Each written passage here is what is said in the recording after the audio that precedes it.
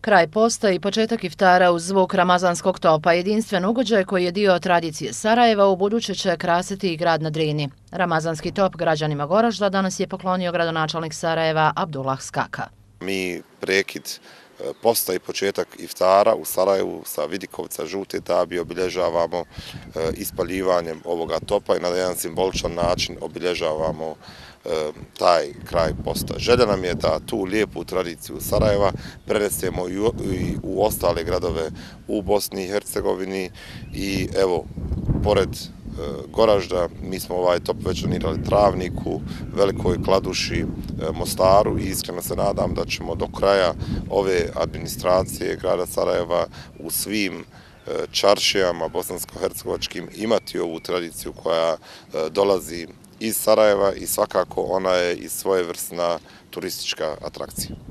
U gradskoj upravi Gorožda ističu izuzetno dobru dosadašnju saradnju dva grada, ne krijući zadovoljstvo ovim simboličnim poklonom. Jako smo bili pozitivno iznenađeni kada je predložio ovu ideju da se i Goraždu dodijeli jedna ovakva donacija, top koji je bio inače uvijek u tradiciji e, bosanskih čaršija, mahala, gdje se obilježava početak E, posta, zatim vrijeme iftara i neki drugi, neki drugi značajni datumi vezani za istoriju Bošnjaka i muslimana za ovom području, a i u svijetu.